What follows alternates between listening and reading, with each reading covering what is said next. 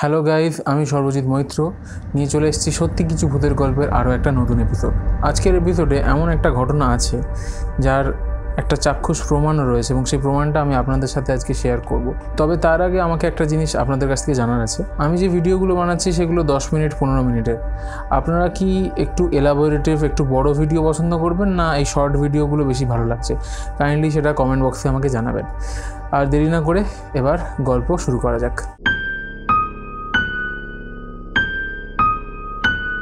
আজকের প্রথম গল্প, অদ্ভুত পাহাড়ের অভিজ্ঞতা। এই গল্পটা আমাকে পাঠিয়েছেন অন্তরা ভক্ত এবং এই ঘটনাটা হয়েছিল যখন উনি লাদাখের কোনো একটা পার্বত্য অঞ্চলে ঘুরতে গেছিলেন। বেশ কয়েক বছর আগে অন্তরা তার কিছু কাজিনদের সঙ্গে লাদাখের কোনো একটা জায়গায় ঘুরতে চান। এক দেড় দিন বেশ ভালোই কেটেছিল ঘুরতে যেতে এবং সেখানে তো অত বড় কোনো হোটেল নেই। একটা স্টে হাউস টাইপের একটা জায়গা, সেখানে ওরা গিয়ে থাকবার জন্য একটা বন্দোবস্ত হয়েছিল। তো একটা খাড়াই পাহাড় আছে, যেখানে অনেক ট্যুরিস্ট যায়, অনেক ট্যুরিস্ট যেতে চায় না। তো ওরা সেখানে গেছিল, গিয়ে সারাদিন ঘুরে টুরে ফেরত এসছে। এবার অন্তরার কী অভ্যাস ছিল? ও যে জুতো টুতো পরে আসতো, গুছিয়ে রাখার কোনো ব্যাপার নেই। ও এসে তাড়াতাড়ি করে পা ফা দিয়ে জুতো ফুতো ছুঁড়ে ফেলে দিত। তো এরকম ঘরে এসে ও জুতো ফুতো খুলে ছুঁড়ে খাটের উপর বসে একটুখানি নিজের ফোনে গেম টেম খেলছে না কিছু করছে। কিছুক্ষণ পরে ওর কোনো একটা জিনিস নেওয়ার জন্য বাইরে বোধহয় কোনো কারণে যাওয়ার প্রয়োজন পড়ল। তো খাট থেকে নেমে জুতো যেগুলো ফেলেছিল, একবার দেখতে লাগল কোথায় পড়েছে, এদিকে দেখছে, ওদিকে দেখছে। দেখছে জুতো এদিকে যদি ছড়ানো ছিল, কোথাও ছড়ানো নেই। খুঁজে না পেয়ে খাটে উঠতে যাবে, পেছন ঘুরে দেখছে খাটের পাশে একটা র্যাক আছে, তার উপর জুতো দুটো পরিপাটি করে গুছিয়ে তোলা এবং জানলার আলো এসে জুতোগুলোর ওপর পড়ছে। মানে একদম পরিষ্কার দেখাচ্ছে যে জুতোগুলো এখানে আছে। ও তো একেবারে ভাবছি, কী করে হলো এটা? আমি তো এক্ষুনি বাইরে থেকে গেট দিয়ে ঢুকলাম, জুতোগুলো ছুঁড়ে ফেললাম তারপরে এখানে খাটে শুয়ে পড়লাম, জুতোগুলো র্যাকে গুছিয়ে কী করে রাখা রয়েছে? আমার ঘরে তো আর কেউ আসেনি। তা যাই হোক, এই ঘুরতে ঘুরতে এসে ওই সব ব্যাপারে অত মাথা না ঘামিয়ে জুতোটা পরে নিচে নামলো। নিচে নামে ওর যা দরকার ছিল করে চলে এলো। তো তখনকার মতো এই ঘটনাটা হলো। এবার দুপুর নাগাদ ওর যে কাজিনরা আছে, ওরাও বোধহয় কোথাও একটা জায়গায় বাইরে গেছিল। ওরাও ফিরে এসছে, ওরা ঘরে বসে আছে। এবার ঘর থেকে মিয়াও মিয়াও করে বেড়ালের একটা ডাক শোনা যাচ্ছে। ওরা বুঝতে পারল যে ওনারের একটা বেড়াল আছে, ঘরের মধ্যে ঘরে সেই ডাকছে, তো ওরা দরজার দিকে তাকালো। দেখছি বেড়ালটা দরজার কাছে এসে দাঁড়িয়ে আছে এবং মেয় মেয় করে ডাকছে, কিন্তু ভেতরে ঢুকছে না। তখন যেমন হয়, ও খুব বিড়াল, পশু পাখি এগুলো খুব ভালোবাসে, তো যাদের আহ, এরকম করে একটা ডাকছে, এদিকে আসো এদিকে আসো। বেড়ালটা কিছুতেই ঘরের ভেতর ঢুকছে না। তো এরকম কয়েকবার হওয়ার পরে ওর আরেকটা যে কাজিন ছিল, সে বলল, জানিস তো, আমার মনে হয় না, এই যে বেড়ালরা আছে, এরা কিছু দেখতে পায়। ওরা তখন ভাবলো যে হ্যাঁ এরকম তো হতে পারে। কারণ বিশ্বাস করে জিনিসপত্রে। তাই ওরা বেড়ালটাকে আর কোনো উত্তর দিল না, বেড়ালটাও নিজের মতো সেখান থেকে চলে গেল। কিছুক্ষণ পরে আবার সেই বেড়ালটা এসে দরজার কাছে মেয়াও মেয়াও। এবার ওরা ভাবছে, কী হচ্ছে ভাই? এ তো চলে গেল। আবার এসে মেয়া মেয়া করে ডাকছে, কিন্তু কিছু খাবার চাই? বলে দরজার কাছে গিয়ে খাবার দিয়ে এলো। খাবারটা খেলো না। এবার ওরা ভাবলো যে, না, হয়তো রুমটার কোনো গন্ডগোল আছে। তো ওরা গিয়ে নিচে নেমে সোফা যে এরিয়াটা ছিল যেখানে মানে হোস্ট যারা আছে তারা এবং এরা, এদের কমন প্লেস যেটা। তো সেই জায়গাটা ওরা নিচের তলায় গিয়ে বসে রয়েছে। কিছুক্ষণ পরে বেড়ালটা ওপর থেকে আবার নিচে চলে এলো, এসে ওদের দিকে তাকিয়ে মেয়াও মেয়াও আবার ডাকছে। এইবার ওদের কিরম একটা যেন ভয় হচ্ছিল। যে আমরা উপরে রয়েছি, তখন বিড়ালটা তখন কিছু, আমাকে কিছু ফলো করছে, কিছু আছে? তখন ওরা গিয়ে বাড়ির ওই ওনারটাকে ধরলো। জিজ্ঞাসা করল যে, কী ব্যাপার যে এরকম আমাদের পেছন পেছন আপনাদের বিড়ালটা তাকিয়ে তাকিয়ে তখন তাকে ডাকছে, কিছু গণ্ডগোল আছে কি? কারণ আমরা এই সমস্ত জিনিস মানি। আর যদি থাকে আপনি ক্লিয়ারলি বলুন। তখন ওই ওনার যা বললেন, সেই অনুযায়ী ঘটনাটা এরকম যে, এই বাড়িতে অ্যাকচুয়ালি কিছু নেই। কিন্তু পাহাড়ের যে এরিয়ায় ওরা ঘুরতে গেছিল, সেই জায়গাটায় নানা রকম জিনিস আছে। এবং তারা এতটাই ডেঞ্জারাস যে মানুষের সাথে ক্যারি করে হয়ে বাড়ি চলে আসে। এবার যেহেতু এই মেয়েগুলো কোনো একটা সময় দুপুরে বা কখন সকালের দিকে ওই জায়গাটা গেছিল এবং সেখানে ঘোরাঘুরি করেছে সেরকম একটা লোক ছিল না, কোনো কিছু ওদের সাথে অ্যাট্রাক্টেড হয়ে ওদের সাথে সাথে চলে এসছে এবং ওরা যেখানে যেখানে যাচ্ছে ওদেরকে ফলো করছে। তা ওই মহিলা যিনি ওই বাড়ির হোস্ট পার্বত্য অঞ্চলে থাকেন তো ওনার কিছু জানাশোনা আছে যে কি তাবিজ ফাবিজ এগুলো করা যায়। তো উনি কী করলেন? একটা কবজ নিজের ঘরের একটা জায়গা থেকে বের করে বললেন, এগুলো আমাদের কাছে থাকে কারণ এই জিনিসগুলো এখানে প্রচুর হয়। নিয়ে ওই তাবিজটা সবার হাতে একটা করে বেঁধে দিলেন। ভেঙে দিয়ে বলেন যে এবার আপনাদের কোনো অসুবিধা হবে না, আপনারা টিকে থাকতে পারবেন। তখনই দেখল যে বেড়ালটা ওদের দিকে তাকিয়ে ওরমভাবে রাখছিল হঠাৎ বেড়ালটা এদিক ওদিক করে যেমন নর্মাল ঘুরতে থাকে, ঘুরতে লাগল। এবং বাইরে একটা খড়াং করে শব্দ হয়েছে। এবার ওরা ভাবছে যে কী যে শব্দ, তো বাড়িওয়ালা যে মহিলাটা ছিলেন মানে ওদের হোস্ট তিনি গেটের কাছে গেলেন, গিয়ে গেটের দরজাটা খুললেন, খুলে দেখলেন যা একটা জিনিস, এবার কী সেটা দেখ মানে আমরা জানি না বা ওই মেয়ে মেয়েগুলো জানে না, তো উনি পেছন ঘুরে মেয়েগুলোর দিকে তাকে হাসলেন, মেয়েগুলো বলছে, কী হয়েছে? এরকম শব্দ হলো, তখন বলছে, বললাম না, তোমাকে আমি একটা জিনিস দিয়ে পড়তে বললাম এবং বললাম কিছু একটা আছে তোমাদের ফলো করছে সে রেগে গেছে, দেখবে এসো, ওরা গেল, গিয়ে দেখছে গেটের কাছে যে দরজাটা খুলেছে তার বাইরে একটা ভেড়ার মাথা পড়ে রয়েছে। মানে গলা কাটা একটা ভেড়ার মাথা গেটের সামনে পড়া মানে ওটা ছুঁড়ে মেরেছে। চিন্তা করো এই যে মানে জিনিসটাও পড়িয়ে দিয়েছে এবং চাইছে না যে এখানে কোনো রকম অত্যাচার বা কিছু হোক, সেই জিনিসটায় সেই যে এসেছিল তার খুব রাগ হয়েছে এবং মরা ভেড়ার মাথা ছুঁড়ে ফেলেছে। তো এই জিনিসটা হওয়ার পরে ওরা আর বোধহয় কিছুক্ষণই ছিল না, একদিন দুদিন ছিল, তখন থেকে ওরা চলে এলো। তারপরে অ্যাজ ইউজুয়াল সব নর্মাল কিন্তু এই একটা ক্রিপি একটা অদ্ভুত অভিজ্ঞতা ওদের সাথে হয়েছিল লাদাখের কোনো একটা জায়গায় বেড়াতে গিয়ে। এরপর চলে আসছি দ্বিতীয় গল্পে। দ্বিতীয় গল্পটা একটা অদ্ভুত মৃত্যুকে ঘিরে।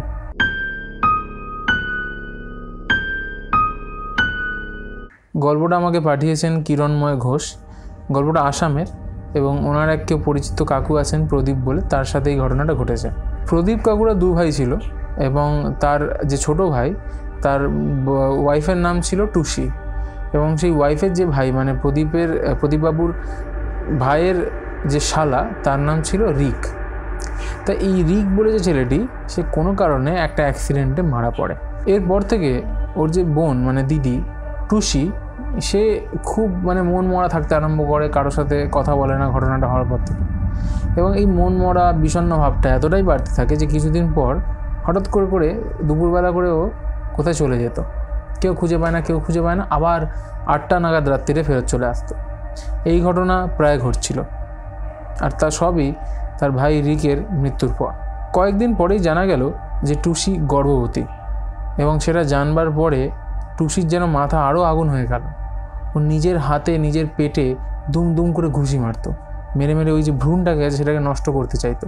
এবং শেষমেশ তাই হলো। টুসির গর্ভে যে সন্তান ছিল, সেটি অকালেই মারা গেল। আর মারা যাওয়ার পর টুসি আবার স্বাভাবিক হয়ে গেল। এই ঘটনায় বাড়ির শ্বশুরবাড়ির সবাই একটু ভীতু হয়ে পড়ল। যাই হোক, কিছু করবার নেই। যখন একটা ঘটনা ঘটে গেছে ঘটে গেছে। এবার আরও বেশ কয়েক মাস কাটলো, কিছু হলো। তার কিছু পরে টুসি আবার গর্ভবতী হলো। কিন্তু এইবার গর্ভবতী হওয়ার পর টুসি কোনো অদ্ভুত আচরণ করেনি। যথাসময় তার একটি কন্যা সন্তান জন্ম নেয়। কন্যা সন্তান জন্মানোর পর বাড়ির সবাই খুশি, বেশ আনন্দে সুখে দিন কাটছে। কয়েকদিন বাদে বাচ্চাটার যখন পাঁচ, ছ মাস বয়স, তখন টুসি নিজের দাদার বউয়ের কাছে বাচ্চাটা কোলে দিয়ে বলল, বৌদি, তুমি একটু ধরো, আমি একটু আসছি। তো উনি কোলে নিলেন এবং টুসি বাচ্চাটাকে ওনার কোলে দিয়ে কোথায় যেন গেল। বেশ যখন অনেকক্ষণ হয়ে গেছে, তখন হচ্ছে ও কোথায় গেল আমার বাচ্চা দিয়ে? তো তারপর বাচ্চাটাকে ঘরে বসিয়ে উনি যেই পাশের ঘরে দেখতে গেছে, দেখছে পাশের ঘরে জানলা দিয়ে দেখা যাচ্ছে টুসি গলায় দড়ি দিয়ে ঝুলছে। অন্য দেখে হাত পা ঠান্ডা। খুব সম্ভবত হয়তো ওই ঘুড়ি সুতো দিয়েই যেন গলায় উনি পাকিয়ে পাকিয়ে রশি বানিয়ে গলায় দড়ি দিয়েছিলেন। কিন্তু অদ্ভুতভাবে যখন কেউ নিজে আত্মহত্যা করে, যদি এটা আত্মহত্যা হয়ে থাকতো, তাহলে সে দু হাত দিয়ে নিজের গলাটা ধরে থাকবে না। কিন্তু এক্ষেত্রে টুসি দু হাত দিয়ে নিজের গলা ধরেছিল মানে টুসির মৃতদেহ শেষবার যখন ও বৌদিকে দেখতে পেল। তারপর এই ঘটনা অনেক দিন কেটে গেছে, কিন্তু এর কোনো উত্তর বা কিছু কেউ পায়নি। যাই হোক, এরপর চলে আসি আমাদের তৃতীয় গল্পে। তৃতীয় গল্পটা আজকের সব থেকে ভয়ঙ্কর গল্প। এবং এই চ্যানেলে প্রথমবার এমন কোনো গল্প যা প্রুফের সাথে দেখানো হবে।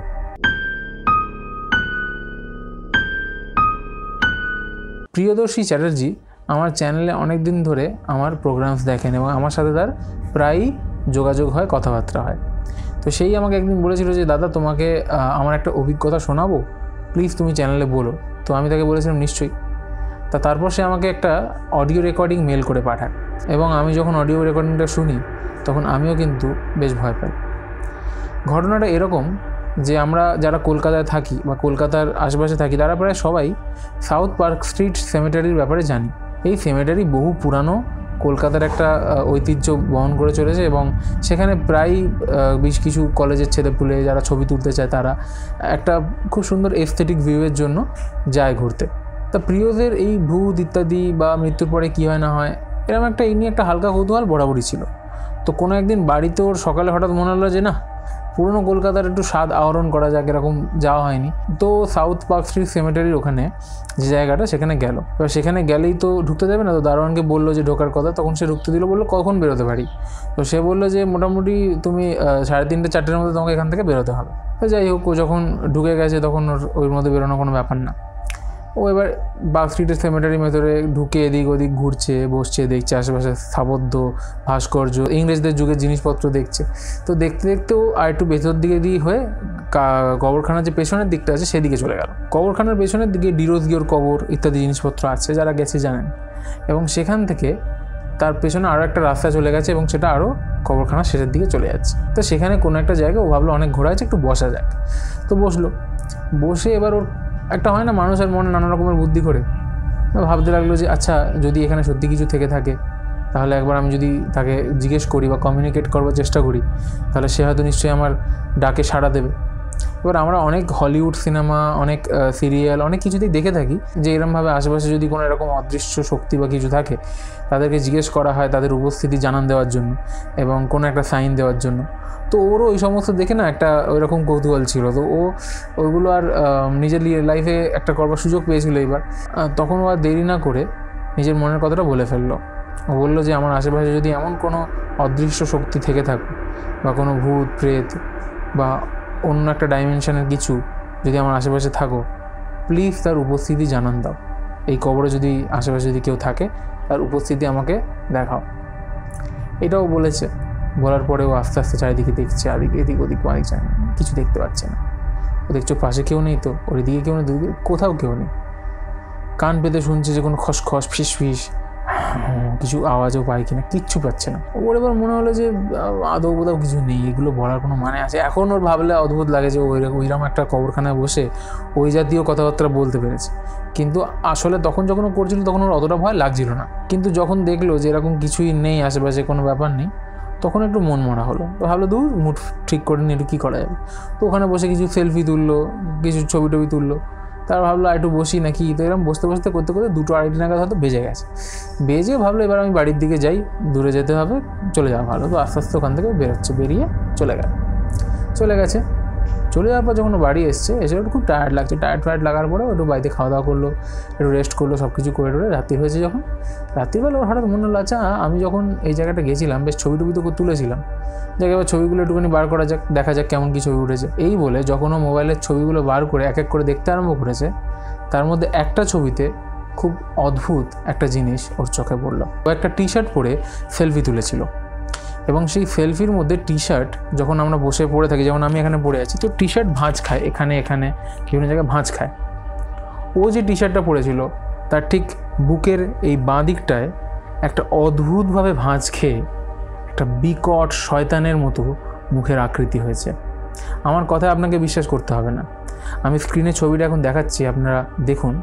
এই যে, এই ছবিটা ও আমাকে পাঠিয়েছিল এবং দেখার পরে আমার নিজেরও চক্ষু ছানা বড়া হয়ে গেল। কি অদ্ভুত একটা মুখ যেন ওর বুকের জামার কাপড়গুলোর মধ্যে, ভাঁজের মধ্যে ফুটে উঠেছে।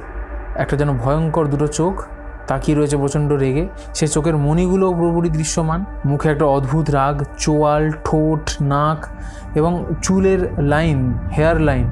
সেটুকু পর্যন্ত রয়েছে। আপনারা যদি ভালো করে দেখেন ছবিটা, আমি বলব আপনারা যদি দরকার হয় স্ন্যাপশট তুলে নিন বা যাই হোক, এখানে বলে রাখা দরকার, আমি নিজে ফটোগ্রাফি করি এবং কিছুটা হলেও বুঝতে পারি যে কোন ফটোটা এডিটেড এবং কোন ফটোটা এডিটেড নয়। প্রিয়দর্শী আমাকে বারবার বলেছে যে ছবিগুলো এডিটেড নয়, কিন্তু সেটা না বলে থাকলেও আমি পরিষ্কারভাবে এটা বুঝতে পারতাম যে এই ছবিটা কোনোভাবে এডিটেড না।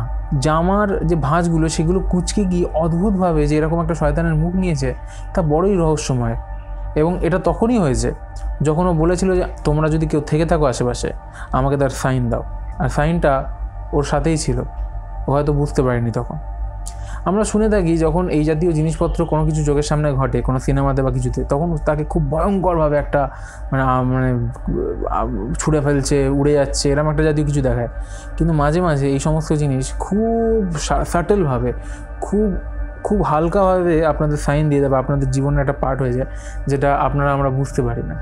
তো এক্ষেত্রেও সেটা আমার মনে হয়, যদিও ছবিটা দেখে অনেকের মনে হতে পারে এটা নকল বা এটা কোনো সাইন নয়, এটা একটা কাকতালীয় ঘটনা, সেটা আপনার যুক্তি থাকতেই পারে। তবে আমার যেটা মনে হয় যে এতটা কাকতালীয় হতে পারে না যে যখন ও এই জিনিসটা বলল যে আপনারা আমাকে সাইন দিন, আর ঠিক তখনই এরকম একটা অদ্ভুত মুখ দেখা গেল জামার উপরে। যেন যে এন্টিটিটাকে ও বলছিল তার থাকার উপস্থিতির জানান দিতে, সে যেন তার জামার ভাঁজগুলোর মধ্যে নিজের মুখটাকে ফুটিয়ে তুলে আর তাতে নিজের এক্সপ্রেশনটা দেখিয়ে যে সে কতটা রেগে আছে তার উপর, সে এখানে এসে বসে তাদের সাথে এইভাবে কমিউনিকেট করছে। সেটা জানান দিয়ে ওকে ওয়ার্ন করছিল। ছবিটা দেখে প্রিয়দর্শী নিজেরও খুব ভয় লাগল মোবাইল সুইচ অফ করে ঘুমিয়ে পড়ল ঠাকুরের নাম নিয়ে যাই হোক প্রিয়সী thank you so much bro এত সুন্দর একটা গল্প আমাদেরকে পাঠানোর জন্য। এবং সত্যি এই চ্যানেলে প্রথমবার একটা প্রুফ সমেত ভূতের গল্প, ভূতের এক্সপিরিয়েন্স শেয়ার করতে পারলাম। থ্যাংক ইউ আপনাদেরও যদি এরকম কোনো অদ্ভুত, ভুতুড়ে এক্সপিরিয়েন্স থাকে বা আপনাদের চেনাশোনা কারোর থাকে, সেই গল্পটা আমাকে ডেসক্রিপশন বক্সে দেওয়া ইমেল অ্যাড্রেসে নিশ্চয়ই পাঠাবেন। আমি নিশ্চয়ই সেখান থেকে গল্পটা পড়ে এই চ্যানেলে আপনাদের বলে শোনাবো। ভূতের এপিসোডসের ব্যাপারে আরও ফার্দার আপডেটসের জন্য ইনস্টাগ্রাম এবং ফেসবুকে ফলো করতে পারেন, সেটা দেওয়া আছে এখানে। যদি গল্পগুলো ভালো লেগে থাকে, চ্যানেলটাকে প্লিজ সাবস্ক্রাইব করবেন এবং পাশে দেওয়া বেল নোটিফিকেশন আইকনটা টিপে দেবেন, যাতে সমস্ত নোটিফিকেশন ডাইরেক্টলি আপনাদের কাছে যায়। আর যদি চান আমি এপিসোডগুলো একটু বড় বানাই, তাহলে কাইন্ডলি কমেন্ট বক্সে এটা জানাতে ভুলবেন না। আজকের এপিসোড এখানেই শেষ হচ্ছে। পরের এপিসোডে আবার দেখা হবে। টাটা।